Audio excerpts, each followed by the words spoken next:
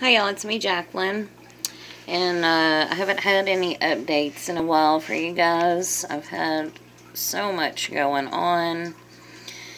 Uh, the guppy had, I put the last of her recent bunch in here and she had 43 total. I was like, oh lord. so, I put them in here with these guys. They're a month old. I don't know if you can see them. So I have over 80 guppy fry. Well, no, it's a little less than that because I have sold quite a few on eBay. But it should be roughly around like 60 guppy fry left in here. Counting the 40 that I just put in there. But y'all can see the coloring coming in on these little guys. They're, they're coloring up really nicely. and uh, that's an update on the little guppy fry. My Otocats, they're doing good. I did a water change. I'm not sure what all of this is. It's on the inside. But I wiped it down with my uh, filter floss that I use, or the polyfill that I use to wipe down stuff. Not sure what's going on there.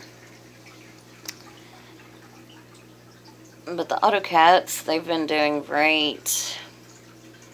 Water temperatures, you know, the weather here has dropped tremendously down into like the upper 30s. And to me, that is freaking cold for Texas anyway. so I trimmed my Anubias. I'm sorry, not my Anubias, my Amazon sword. I it did have some leaves that were quite holy from the angelfish pecking on them and all that fun stuff. So I took off those leaves and I bought some crypto crypt wendtii greens. I got quite a few of those planted through here. I bought five of them, but they sent a whole bunch. So what I did was I split them off because you can do that with these roots, or at least I did anyway. I split them off, got them planted. So I've got them all throughout this tank. There's my other Amazon sword. These little guys have really come on great. I have a previous video when I first bought them. I think they had like six leaves and maybe 12 leaves. I don't even know how many leaves they've got now, but they've got a bunch. And then I bought this off of eBay. The Ro Rotala... I can't even remember, but it's a repen and I'm going to have some CO2 put in here so that way it turns them kind of red. They say it CO2 helps with them turning red. I don't mind them being green. Sorry guys, with the weather drop, my voice is kind of, uh... So anyway, I love these. And I mean, they have grown. They're just repins, So that's where you take your scissors and you cut that top part off and plant it in the bottom. But I want to show y'all something. Y'all see that little green spot right there in the middle of the screen there? That is growing out from like their roots. Their roots, they put out roots amazingly fast. But that little dude right there they're just popping up all over the place. I got one right there as well. But you can see, I mean, that's shooting off from their roots. So, that will fill in that space. I kind of want it to look like a bush eventually. I'm in no hurry because I really like how it looks right now. So, I mean, I'm not griping. But once these get a little taller, I'm going to snip them and plant them down here and kind of fill in that space. Um, my Otocats, they're doing good. When the weather dropped, I wasn't here. to turn the heat on in the house. So, unfortunately, I did lose one Otocat. And that's just because the water dropped way down into the 70s. And Otocats, they like their water warm. So, I, unfortunately, I lost one of my little Otocats. But everybody else seems to be doing fine. They're all actively swimming and just having a good old time and eating. They like to eat.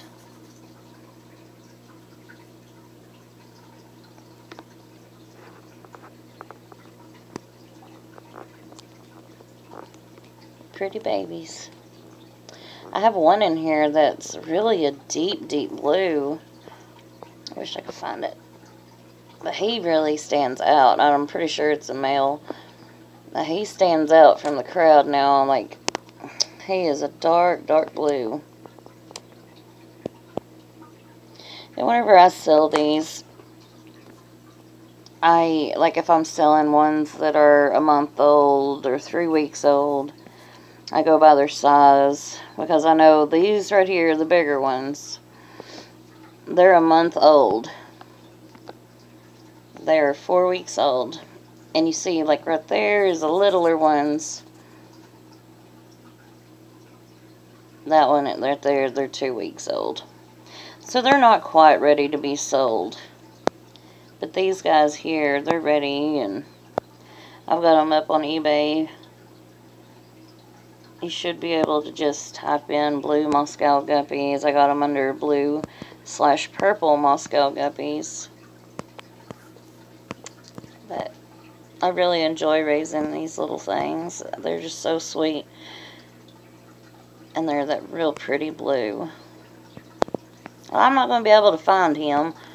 He's that real pretty dark, dark blue. And I'm just, I can't, well, that might be him way back there, but Mean, he is a dark blue for a, for a month old. I just fed, so you know, they're up there, they're still eating, they're munching away. They just having a good time being fish. So anyway, back to the, I wasn't here to turn my heat on out, out here in the house, in the living room, and, and so it got quite chilly outside of their tank, so it made their water drop. And that's really a shame because I really enjoy these little Otocats. They are just, they're great at keeping this tank clean from algae. I did notice I'm having the um, cytobacterial bloom or whatever it's called the blue-green algae it's not really an algae, but it's not really a bacteria. It's kind of both, if that makes sense. I don't know if y'all can see it, but yep, there it is. I've done water changes and all that fun stuff, but from my understanding, it's not harmful. But uh, I'll probably be scooping all them out I don't know, because they need that beneficial bacteria. I'll probably just add an air stone and do a lot more water changes. I've been doing water changes every four days.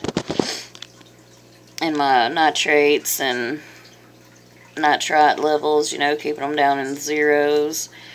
Ammonia down at, you know, past the 0 0.02. I mean, all of their levels are great. I just don't know why this decided to flare up.